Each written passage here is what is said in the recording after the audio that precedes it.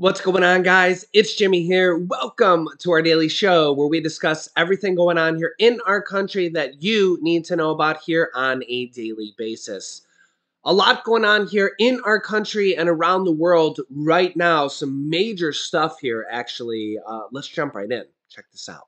Also, in this video, I have a special guest appearance for you guys, so make sure to watch all the way to the end for a uh, special guest appearance.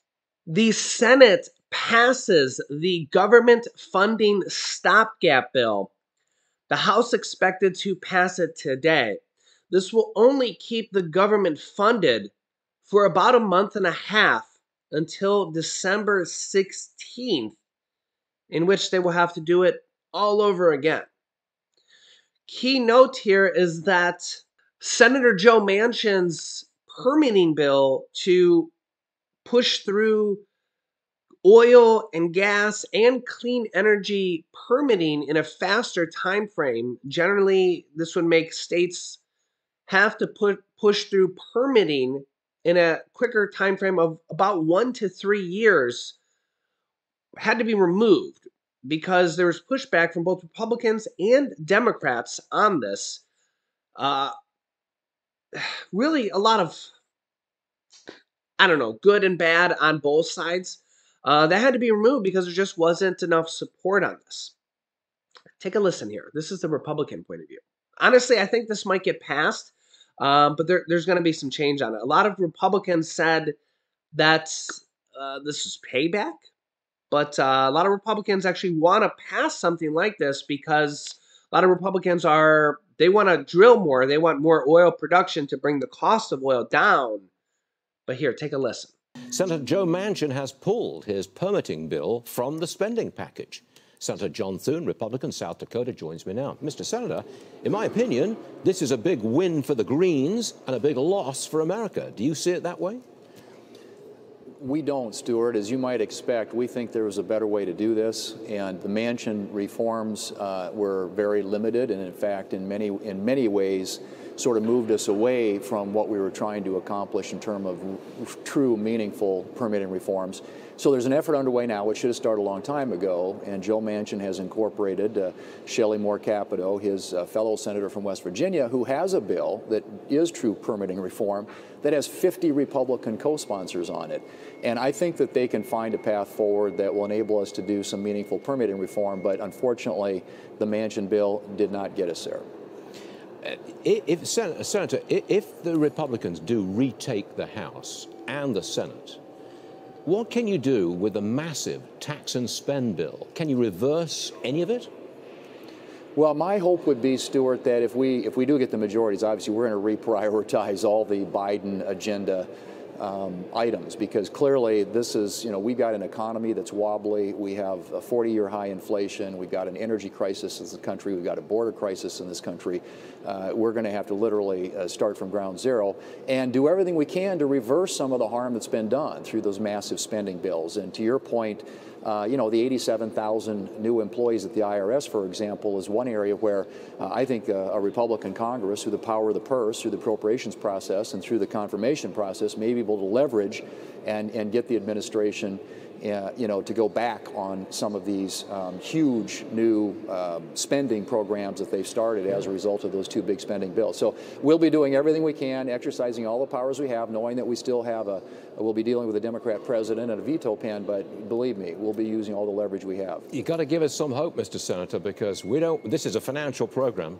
We're looking at Wall Street, we're looking at the economy, and I don't think there's many people who really want to go into a recession and then raise taxes. That's a, a, no, a disaster. It would be. In fact, I think the thing that we would want to do right away is make permanent the 2017 tax law. A lot of those provisions are expiring. If you want to give investors certainty and predictability, uh, they, it starts there. And then it starts with changing the, the approach to regulation, Stuart. The, the heavy yeah. hand of government that's been imposed by this administration, that needs to be replaced with a, a lighter touch. And, and let's get the incentives out there for investment to increase supply in our economy and, uh, and hopefully that will start to equalize with demand and we can see inflation start to moderate. But as of right now, uh, yeah, it's a five alarm crisis. And, uh, and we've got to take these, uh, the House and the Senate in November if we're going to turn it around. And at this moment, Are you confident that you'll take both the House and the Senate? I am. I am. I just think that people at the end of the day, when they look at these, you know, they're pocketbook voters, and the Democrats are trying to change the subject, trying to distract in other areas. But, you know, if you look at the, the border, you look at national security, you look at economic security, you look at energy security, uh, that's the basket of issues that I think American people are focused on. And when they vote, it's going to be very clear the contrast between the two visions for the future of this country. We need a different vision that's good for the economy, good for energy security, uh, good for national security, and uh, the Republicans will provide that. And I think the American people get that. I think they've seen enough of this administration's policies and the effects and results of that, and they're ready for change. So I'm, I'm hopeful, I'm confident, and I think we're going to get it done. Well, there's less than six weeks to go to those elections. Uh, let's see how it turns out. Speaking of financials, the stock market has been getting absolutely crushed here lately. This is a one month chart of the Dow Jones Industrials, which is a stock index of the most popular stocks here in the US. You can see here it's been pretty bad here. It's down about 2,500 points in one month. Really, really bad here. We look at a one year chart. Here's a one year chart. Uh, the Dow Jones started. Um, actually, let's do a year to date chart. That's that's probably a better uh, time frame here. The Dow Jones started the year at 36,800. Now it's at 29,100. Wow, what a difference here. That means that we're down. What is that? That's about 7,700 points on the Dow. That's uh, over 20% on the Dow. Now, for comparison, though, last year uh, the S&P 500 uh, was up 27%. So it gives you a, time frame here. When you look at a five-year chart, we're still up pretty significantly from five years ago. So five years ago, the Dow was at 22,800. Now we're at 29,000.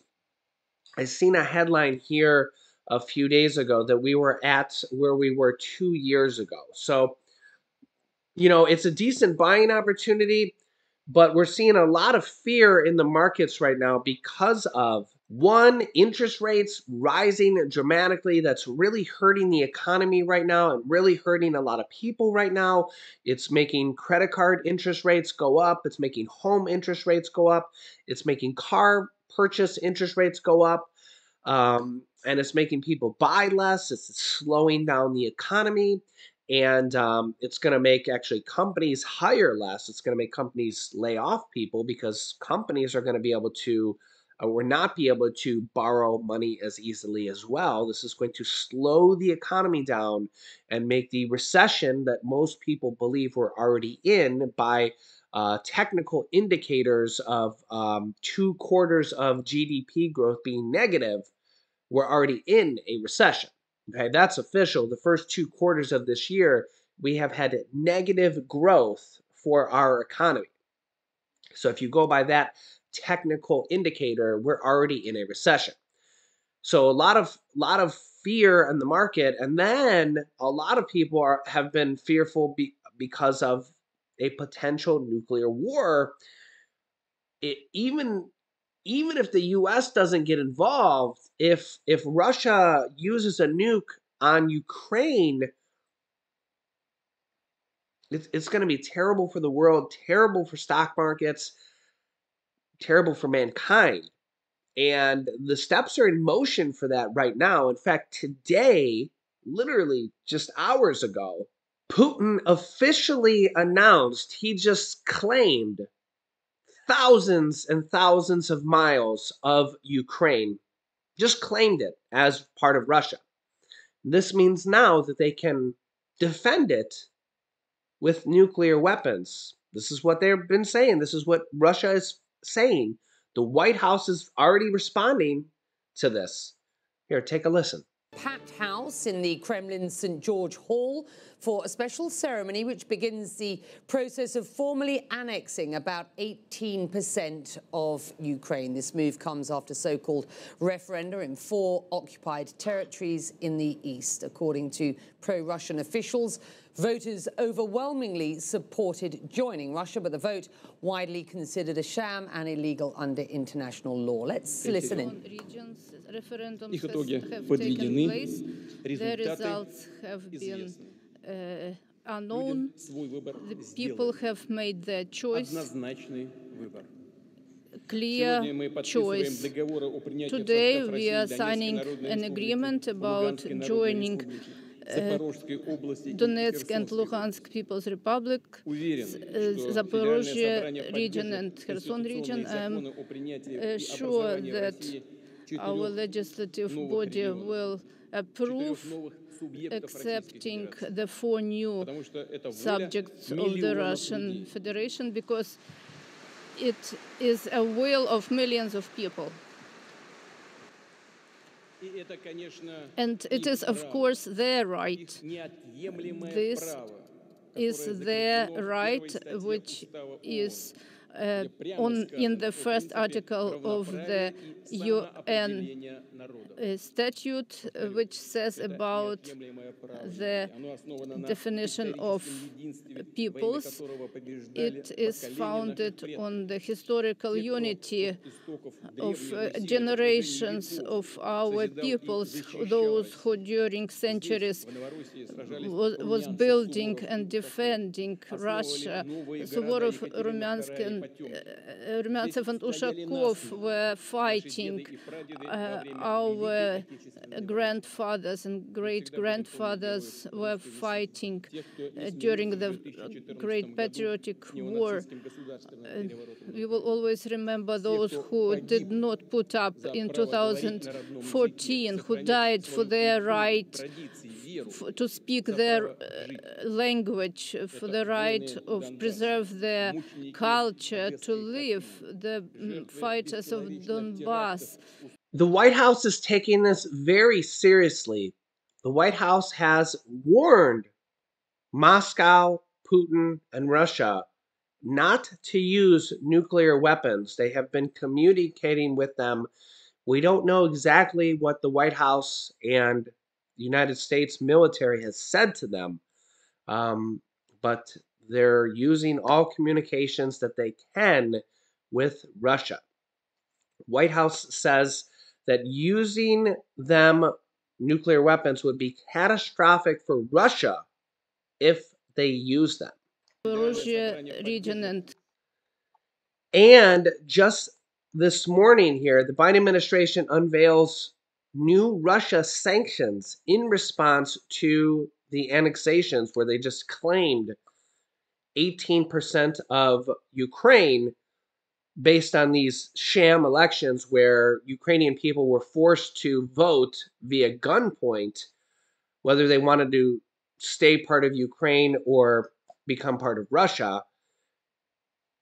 So, I mean, you could let me know your thoughts here on this. And up to 99% of people apparently voted for Russia.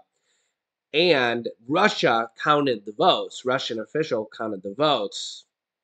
So, I mean, you can let me know your thoughts on that. It's not like they were uh, counted with Ukrainian and Russian officials, just Russia counted them. So let me know your thoughts here on this and uh, make sure to subscribe to our channel so you don't miss out on new videos. I'll keep you up to date here. And to brighten your day, here is a special guest appearance. My son Julian, uh, we've both been sick now. Uh, he's been sick twice now since going to preschool. Uh, but here is uh, my special guest, uh, my son, Hurricane Julian. Uh, he actually got that nickname a few, like a year or two ago, when a, a hurricane named Hur- uh, Hurricane Julian came by, and uh, it's kind of stuck with him ever since. A lot of people in the comment section kind of used it, and because he just never runs out of energy. So yeah, he's kind of kind of used that nickname ever since. Um, but yeah, here he is. Let me know your thoughts. All right, here we are, the two sick boys. Hi. Did you tell everybody you didn't go to school this week? No. Why don't you tell everybody? Because I'm sick. Yeah. Wow, waka waka. Yeah. Are you feeling better? Huh? Do you sound better, buddy? Yeah, but yeah, but you you you go bottom of the hair. You go bottom of the hair. Yeah, let's not play with that. Ha ha. I opened that up. I was that. Yeah. Are you feeling a little bit better? Yes, Yeah, everybody's sick now. but not daddy. Yeah, daddy's sick now too. But not mommy sick. Mommy's doing the best, but that's because mommy got her flu shot already. Yeah, yeah. Where? Mommy doesn't think it's the flu though. Yeah. Well. What do you think? You think it's a bed bug? You think it's a bed bug?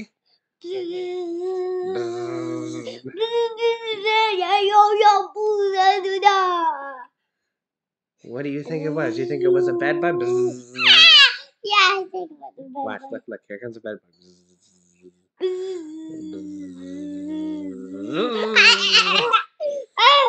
no, no! Stop doing that! Stop doing that, Stummy. but what about the bed bugs? Are they gonna get you? They got me. That's what happened. Your bed bugs got me.